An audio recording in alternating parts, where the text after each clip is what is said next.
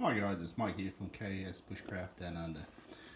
If instant coffee on the trail isn't floating your boat and you want real coffee, on the Trangia 25 and 20 series stoves there is a pan adapter which allows things like espresso machines to sit in place. I made this plate a year or so ago.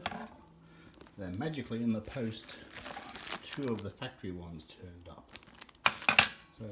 If you really enjoy your coffee and you really want to go that way, it is